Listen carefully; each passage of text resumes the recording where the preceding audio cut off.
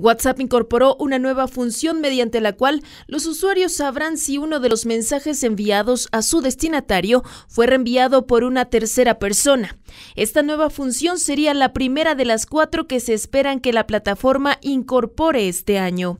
¿Cómo funciona? En primer lugar, habrá que reenviar un mensaje y se avisa inmediatamente al destinatario que este no es original, sino que ha sido enviado previamente. Los mensajes solo se podrían reenviar a un máximo de 20 personas y únicamente se podrá mantener cinco conversaciones a la vez. Con estas acciones, WhatsApp quiere limitar la propagación de noticias falsas. Este es el tercer intento de la compañía para frenar la distribución de rumores y falsedades. Puebla Noticias.